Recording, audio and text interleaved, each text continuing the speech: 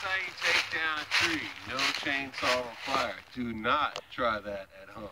Hey everybody, Art Mills. You're watching Real Deal DIY. As always, for all my videos, don't take nothing here I say seriously. It's just a video for entertainment value. Alright everybody, Art Mills. We're out here in the field again.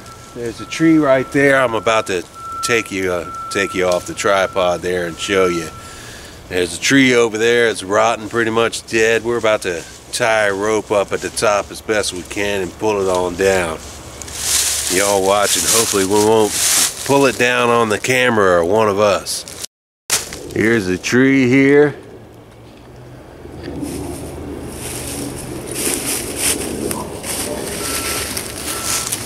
I would kind of nudge it with my hand to show you how dead it is, but it might actually fall doing that. You can see these big cracks right here in it. These holes, there's probably a woodpecker done pecked them holes in there looking for carpenter bees or wood bugs or whatever. Alright, we're gonna go back to a safe distance with the camera and try to rig a rope up there.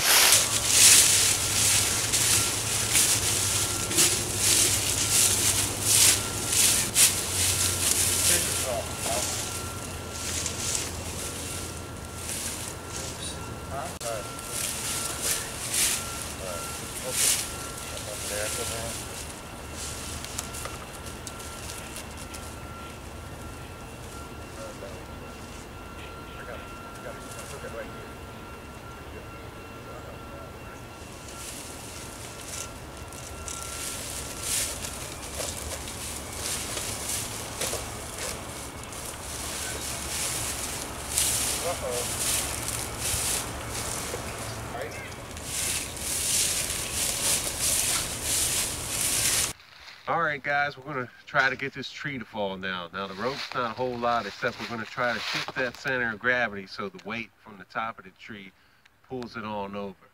When that thing starts to crack, then we're gonna ease off when it shifts away from us and pull hard the next time. So we're gonna try to get a good view of the tree so you can see what happens when it falls.